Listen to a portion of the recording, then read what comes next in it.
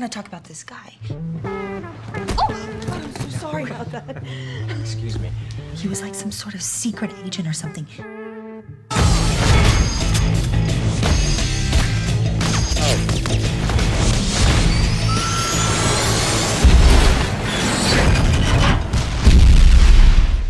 No, no, no, no, no, okay.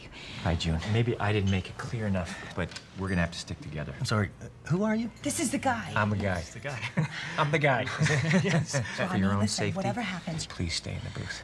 what are you talking about? oh, Everybody get down. No one follows us, or I kill myself and then her. Rodney, Rodney! Shot you through and through. No bone nowhere near the femoral artery. It's all good. Probably get a promotion. You good? Some people are gonna come looking for you now. They'll tell you I'm mentally unstable, violent, and dangerous.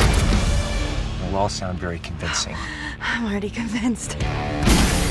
Till a week ago, Roy Miller was the most trusted covert agent in the world. What happened a week ago? Full blown break with reality.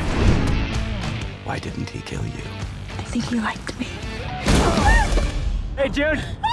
It's a beautiful dress. One second. Your life expectancy is like here. With me, it's here. Without me, here. With me, without me. With me, without me. He's been playing you. He's a spy. That's what he does. I'm sorry. It's reflex. Just don't know what to believe. In my opinion, sometimes things happen for a reason.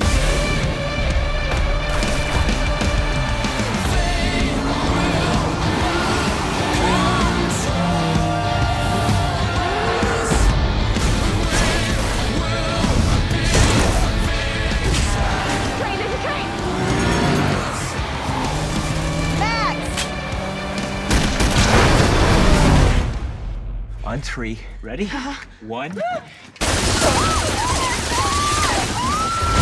Sorry. I panicked. What number would you like? Three. Yeah, th- let's just stick with three. It's good. Okay.